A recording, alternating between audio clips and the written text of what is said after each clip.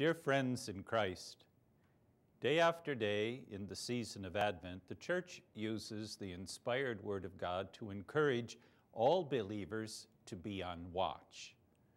The Scriptures focus us first on the Lord's final coming, His advent in glory, when He will come again to judge the living and the dead.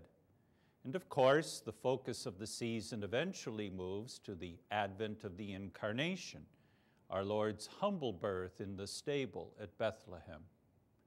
As we begin Advent this year, please consider with me a third type of Advent, what we call Jesus coming in grace. Just as Christ came into the world, Christ comes to us every day in our lives it is His ongoing advent into our hearts. This too should be a focus for our prayer and meditation in the weeks before Christmas. God's Word was made flesh and entered into human history over 2,000 years ago, so that in all the todays of our lives, He could fill us, men and women of flesh and blood, with His own divine life, and so that He could make his heavenly Father, our Father. Every day he uses the ordinary events of our lives, as humdrum as they sometimes are, to lead us in growing in holiness. Christ's coming in grace is for the sake of our being found without sin on Judgment Day. It is so that we may share in His glory. Each day, the Lord Jesus offers us the salvation He won for us by His life, death, and resurrection at His first coming, so that at His final coming, we receive the gift He has prepared for us, the gift of eternal life.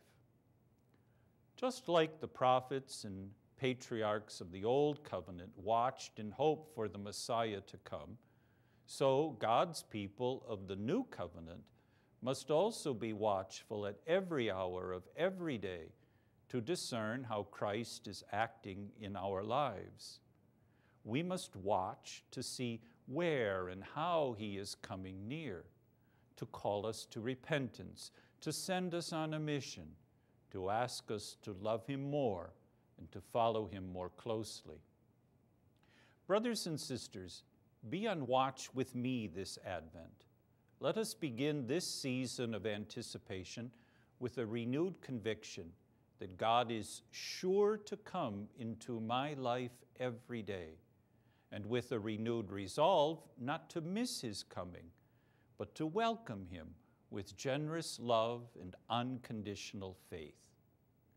My prayer is that all of us come to Christmas shaped ever closer to Christ because we have welcomed each day His advent into our hearts. May God bless you.